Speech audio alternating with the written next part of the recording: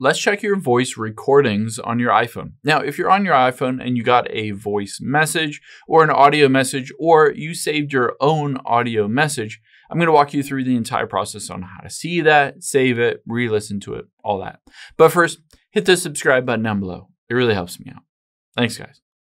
Now, let's say you open up your messages here and just tap on myself.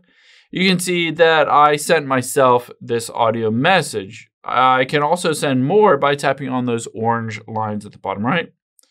And you'll see that it'll start to record my voice. Then I can hit the pause button and hit send, and I'll be able to go back and listen to it again whenever I want. Now on here, if I wanted to save this, I can tap and hold and hit save to voice memos.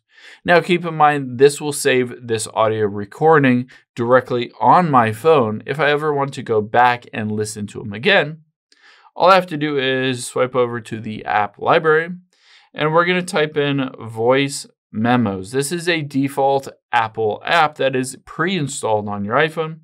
And you'll be able to see any of those audio messages, audio recordings. I can always tap on any of them and hit the play button if I wanted to listen to them again. I can retitle them to something different so I can always go back and I know what it says.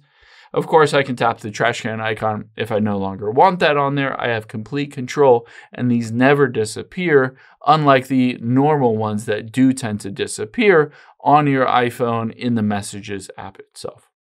I hope this helps. If it did, hit the like button down below and leave a comment if you still have any questions.